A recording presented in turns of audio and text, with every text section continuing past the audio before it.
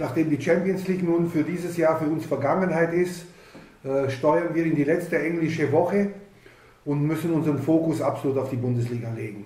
Es hat rückblickend wieder sehr, sehr viel Spaß gemacht, gegen die Besten der Besten zu spielen. Und es ist immer eine große Ehre, sich mit diesen zu messen. Und um dahin zu kommen, müssen wir es auch in diesem Jahr schaffen, unter die besten zwei der Liga zu kommen. Und äh, da sind wir angehalten, aus einer Verfolgerrolle heraus die nächsten Bundesligaspiele zu gewinnen.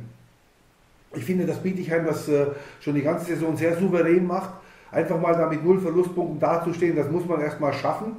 Und äh, wenn wir dranbleiben äh, ähm, wollen, müssen wir eine Serie starten. Wenn wir in der Champions League spielen wollen, musst du mindestens eines, eines der ersten beiden Plätze erreichen. Und das ist unser Ziel, weil wir wollen ganz gern wieder gegen die Großen. Ähm, es gibt noch zehn Bundesligaspiele. Wenn du den Titel holen willst, musst du alle zehn gewinnen. Das klingt viel, das klingt utopisch, aber es wäre nicht zum ersten Mal, dass eine DHC-Mannschaft es geschafft hat, zehn Spiele hintereinander zu gewinnen. Und der Auftrag dazu stellt Oldenburg dar. Eine Mannschaft, die für mich so ein bisschen die launische Diva der Liga darstellt. Eine Mannschaft, die an einem guten Tag jeden schlagen kann, an einem schlechten Tag aber auch gegen jeden verlieren kann.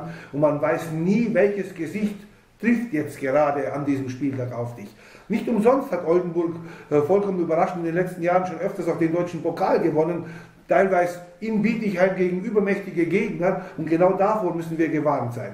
Oldenburg hat eine Mannschaft, die schon zu Lescheks Zeiten immer sehr, sehr schnell gespielt hat, mit hohem Tempo gekommen ist, wo du selber dann ein gutes Rückzugsverhalten brauchst, gerade mit einer Kim Birke, die dieses Konterspiel seit Jahren geprägt hat, aber auch einer Angie Geschke, so die im letzten Jahr in ihrer Abschiedstour für den VfL Oldenburg natürlich dann nochmal was zeigen will und die immer in der Lage ist, ein Spiel alleine zu entscheiden.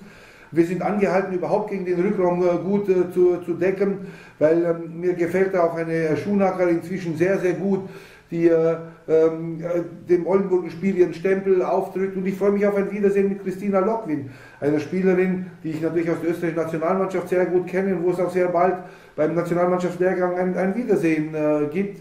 Äh, eine gefährliche Mannschaft, aber wir müssen gewinnen. Wir haben die Pflicht, jetzt unbedingt eine Serie zu starten. Wir werden alles dran setzen, um die Punkte in der Salzerhalle zu behalten, um unsere Fans auch so zu motivieren, nochmal die letzten zehn Spiele hinter uns zu stehen, damit wir aus dieser Verfolgerrolle heraus unsere Chance für den deutschen Meistertitel ausspielen.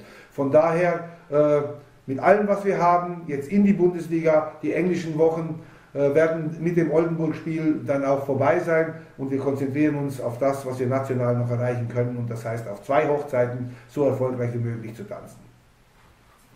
Danke.